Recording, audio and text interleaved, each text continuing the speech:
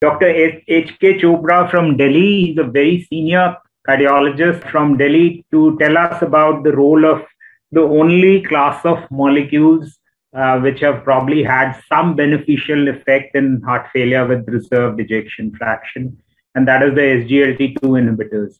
Uh, Dr. Chopra, please. Mr. Chairman, sir, fellow colleagues, ladies and gentlemen, you just heard many speakers since morning on HFpEF. These are, I give my tribute to all the eminent uh, pioneers who are involved in the Emperor study and Preserve study, Soloist, Deliver, and Emperial. So the good news is that the SGLT inhibitor has come to stay, safe, effective, promising, better compliance and adherence. There is a morbidity and mortality reduction, hospitalization, worsening of the heart failure, severe heart failure. And the most important thing is it can be used in diabetes or non-diabetes, hypertension or no hypertension, AF or no AF, congestion or no congestion, and has got an impact on the glycemic control, can has got a huge impact on the reverse remodeling as well as can be used with other drugs we just mentioned. What is the limitation? The limitation is we can't use in the EGFR less than 20, and we know that there is a rising trend of uh, uh, HFpEF, and very few cases are known with the ketoacidosis and recurrent UTI, especially the fungal infection. Now, what is my main agenda? My main agenda is to present the burden. Of course, we know it by now, mechanism, diagnostic, prognostic, and therapeutic implications, power and promise of SGLT inhibitors, morbidity and mortality benefit. Definition is very well defined to all of us. We all know it, so I won't go and spend any time on this. Classification also is very well expressed by Satish, that echo functional classification, which we always consider. And I always consider the E by E prime ratio as a major criteria and the minor criteria of E by E prime ratio is the minor criteria and GLS less than 16, which is very important and echomorphological LAVI is very powerful, 34 millimeter, and the minor criteria of it is 29 to 34, and biomarker with AF and without AF, the baseline is 220, and more than three times of the uh, sinus rhythm is important criteria. The burden is very well known to you. The commonest cause which we come across is hypertension, diabetes, CKD, metabolic syndrome, anemia, and obesity. And I think this is how the trend global. The global trend is high levels of heart failure with preserved ejection fraction. Why in diabetes? Mitochondrial dysfunction and calcium homeostasis and fibrosis and apoptosis. And what is the pathophysiology? I think it is known to all of us that there is a diastolic overload as well as a volume overload. And there is a relationship between the volume and the pressure. This is a very important slide to show the ventricular, atrial, autonomic, vascular, elevated blood pressure and sugar, diabetes, renal dysfunction, iron deficiency are all the factors responsible for HFpEF. This is what we see, a dilated, normal, and HFpEF picture. And this is what the hemodynamics, which we see here, how is responsible. Even the aortic stiffness is significantly reduced, increase in this patient. Clinical outcome, mortality is quite high. I think it's very important to understand how diabetes is responsible to increase the mortality and the data very well preserved. So we can see here the impact of uh, CHARM study, which has shown very clearly that the diabetes is responsible for the high level of morbidity and mortality. And even in the other paradigm study, which we just heard, CV mortality is quite high, overall mortality is high. So overall mortality of HFpEF is quite high, which cannot be underestimated. And the readmission rate, as uh, by Trivandrum data has shown, that the readmission rate is high and the mortality data is also very high as expressed by a Trivandrum registry published in 2018. Now, this is just to show how do we diagnose HFpEF. I think I won't go to the details. We already discussed about it. But I would just like to give this viewpoint of ECHO, which was already discussed just for our understanding, that the most important thing is we have to have a case presentation. Uh, this patient just came to us three, four days ago with a high BP of 200 by 120, 48 years old female, hypertensive and diabetic. And as we did the TROP-I in the emergency, which was more than 5,000, TROP-I was negative, and the echo revealed all the parameters which we just discussed very high. And the most important is E by prime ratio, suggesting there was an increase in the LV and diastolic pressure, pulmonary capillary wedge pressure, and sugar was also high. This is just to show how concentric hypertrophy occurs in this patient has a trivial AR. And we see here even the thickening of the aortic valve was also present in some of the patients. 3D echo confirmed, LV mass index, and of course, most important thing is the E by E prime ratio, more than 18.9 in this case. That's so we can see a strong relationship between the E by prime ratio. If the LV and diastolic pressure is more than 15, we see its rise. And the LAVI is a very, very important variable which we measure almost in every patient. More than 34 is the cutoff point. If it is more than 34, it has got a lot of relevance.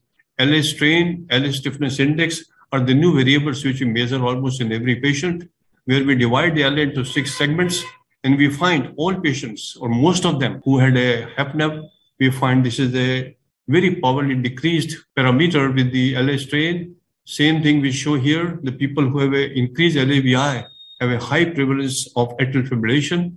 LA stiffness index is a new parameter, which we see is a ratio of E by prime ratio upon LA strain, which is also affected in the patient having a HFnEF. Even the LV strain, I think uh, there was a lot of emphasis on longitudinal strain, which are first to be affected. But as the disease progresses, even the circumferential fibers and the radial fibers may also get affected. This is just to show the NT-proBNP. There is no doubt it's a very powerful and a promising parameter. This is how we published in our book, textbook, which was released last year. And now, how to treat it. This is the main agenda which was given to me. No benefit till 2020. It was only morbidity benefit or functional improvement. There's only one study which is showing the mortality benefit. We see here I-PRESERVE. We see senior study. There was negative studies. And we see here also no benefit of Paragon trial, TopCat, I-PRESERVE, PEP, HCHF, and ARM, no parameters. SGLT inhibition, which is insulin independent action, is a very powerful data prism. And we see here S1 segment, S2 segment, or S3 segment. It is the SGLT2 inhibitor, which is very, very powerful. If you see the history from 1930, work has been done almost 90 years. People worked on this molecule. And in last 10 years, where we use data to show how the renal tubular threshold variability is responsible for its efficacy and safety. This is a very powerful slide to show how multiple systemic metabolic benefits are seen with SGLT inhibitors. It's anti-inflammatory, osmotic diuretic, anti-diabetic, antioxidant, antifibrotic, and reverse remodeling is a very, very important parameter. When I say reverse remod- uh, CV remodeling, it is not only LV, LA, mitral annulus, RA, tricuspid annulus, and even RV and pulmonic remodeling is a very, very important parameter. Leptin, leptin uh, reduction, optimization of mitochondrial function, and thereby high levels of energy, genetic expression, and molecular levels are the various action of this particular drug. This is about the reverse remodeling. This is designed by me on one slide morphological remodeling, hemodynamic remodeling, biomarkers, biochemical, as well as hematological remodeling are the real powerful potentials of this drug, which are consistent, persistent, and meaningful. This is how to show the MACE rate, hospitalization in the heart failure, as well as the reduction of the primary endpoints and secondary endpoints as seen in most of the studies. Now, the evidence outcome benefit has been expressed in soloist WHF data emperor data and deliver data and preserved heart failure data. This is what we see in soloist. The only thing which we see here is the functional improvement. Whether we see a hospitalization or an urgent hospitalization, this study was prematurely taken away because of the funding issue. Solo study by Deepak Bhatt was the main author here, but we could not see any data on the mortality benefit. And this is the study which we see here, Emperor data, which is a very powerful landmark trial published in the month of October in 2021. And the aim was to investigate the safety and efficacy of empagliflozin. The primary composite endpoint was just to reveal the CV death and the hospitalization with the heart failure. And the secondary points were also to see the recurrent uh, hospitalization and the heart failure as compared to the placebo. See the data. risk reduction rate was 21% and absolute risk reduction rate was 3.3%. And both the components of primary endpoints, CV death and hospitalization to the heart failure, contributed to the benefits effects. You see here the data in relation to the gender, in relation to the LVEF or diabetes mellitus, it favors empagliflozin. Similarly, we see in relation to the use of drugs or in the use of uh, NT-proBNP or comorbidity, it favors empagliflozin as compared to placebo. Secondary endpoints were very important, and we see here the emperor preserve point. The confidence interval was just 0.69, 0.73, and the adverse effects were hardly any. And empagliflozin was a very, very powerful molecule as compared to other studies like uh, we see here a penal study or we see the delivery data, which are all functional. Similarly, the data with the uh, preserved study of heart failure is also showing the functional improvement in the walking distance or in the scores. Now, if you compare Emperor with Paragon, the mortality benefit was seen only with EMPA and not with ARNI. We compare Emperor with Emperial, Deliver, or Preserved heart failure. Mortality benefit was seen only with the EMPA. And this is just to show that the comparison data meta-analysis has also shown that overall mortality was reduction was seen only with empagliflozin, first time reported in the world and approved by FDA.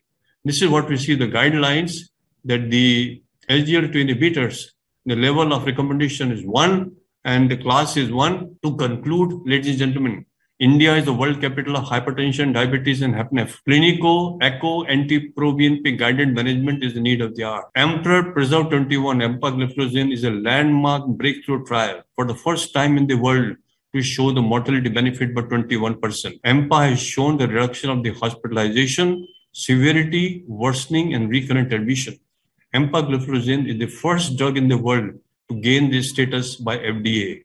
It is cardiovascular, nephroprotective, and reverse remodeling, which is a very powerful potential. What's the take home message? Health of millions is at stake with hypertension, diabetes, and HFnEF in India. The problem of HFnEF cannot be underestimated. It may be a game changer in the years to come. Time to act is now before it's too late. Thank you very much for your kind attention the power of SGLT2 inhibitor cannot be underestimated after presentation in the year October 2021. Empagliflozin stands true and dapagliflozin maybe by delivered study next year, we may have a mortality benefit data. Thank you.